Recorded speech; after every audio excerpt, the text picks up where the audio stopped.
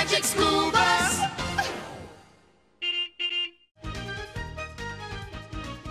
Oh, finally, all fixed. Who'd have guessed? It was the Hinkle Blammin' Flemmin' Jab.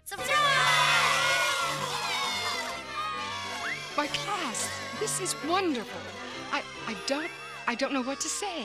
That's not all, Miss Frizzle. We still have the big finale. A big finale? Oh, what could that be?